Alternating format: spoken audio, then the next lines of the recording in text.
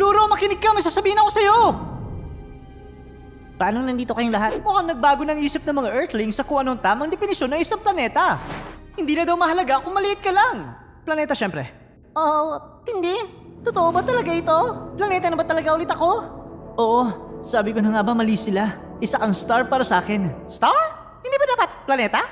Kung pwedeng, umalis ka na lang! Patawa sa lahat! Ang lapit nun! Pagod na rin kami sa kanya! May bago na tayong store ngayon. Uh, Star? P- pero sabi niyo isa akong planeta. Pluto! Pluto! Pluto! Pluto! Oh, huwag mo sabihin na panaginip lang. Hoy! Mag-ingat ka, bulinggit! Nagmumukha ka ng Pluto niyan tuloy! Oh! Gets ko yun! Yeah! Nya! Mukha na talaga siyang Pluto! Oh, one lit mo, mukha ka na talagang Pluto, Mercury! Eh, mga planeta.